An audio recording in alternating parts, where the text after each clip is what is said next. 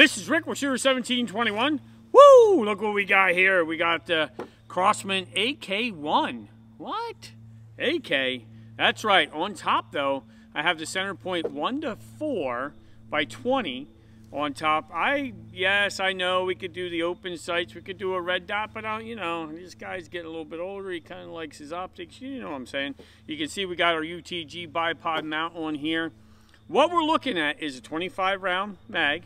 It comes with a speed loader. So it does come with, I don't know if any of you played airsoft, but it comes with a speed loader for the BBs. So you can easily load the mags, easily, the mag goes back and the spring in the mag goes back, locks into place. You can easily get your BBs in. That is a great feature of this gun. Yep, it is, uh, you have to pull the bolt back just like the AK, got the right weight and feel of an AK. It's, mm, I don't know if it's as heavy, it might be, but uh, we set up a target at 15 yards.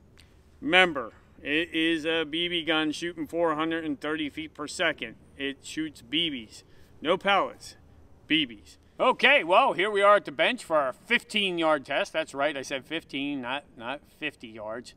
It's only shooting 430 feet per second. We got some Crosman Copperhead BBs in here, and we're going to see how she does it at 15 yards. And we got this little optic on here, and let's see how see if we can get a decent group out of this. See how it shoots.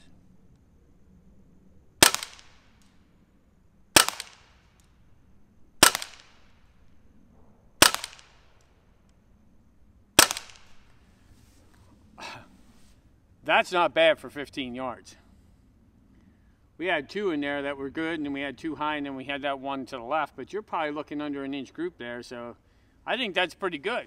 Okay, you got to see the five shot accuracy, but I know you didn't tune in just to see the five shot accuracy at 15 yards. You tuned in to see this rock and roll. Okay, so we got it on rock and roll. Let's see what we got with the Crosman AK-1. All right. Woo! Come on, man. Look at that group. She put the hammer down. Okay, since we, we walked through, showed you how the gun performs, let's show you a couple features.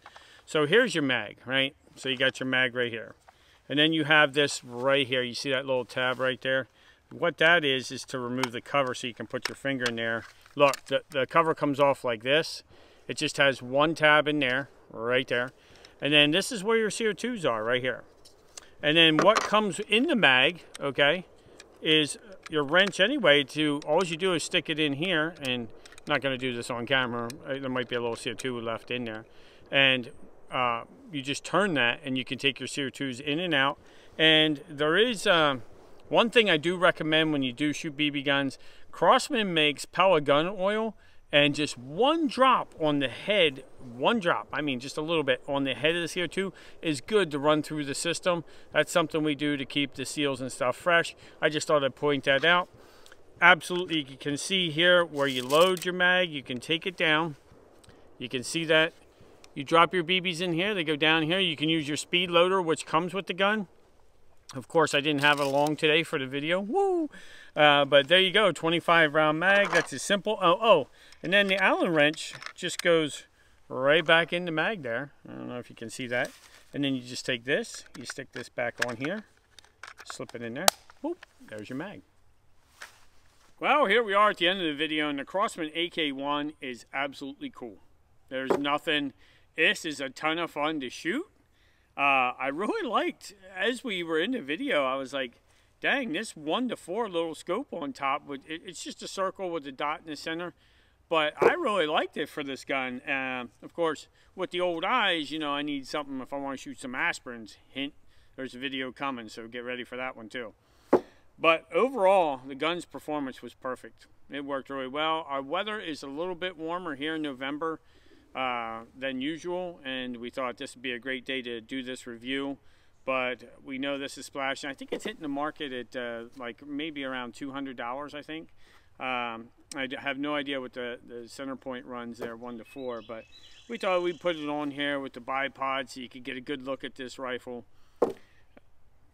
Pretty cool. This is Rick with Shooter 1721, having fun shooting a Crosman AK-1. Thanks for watching.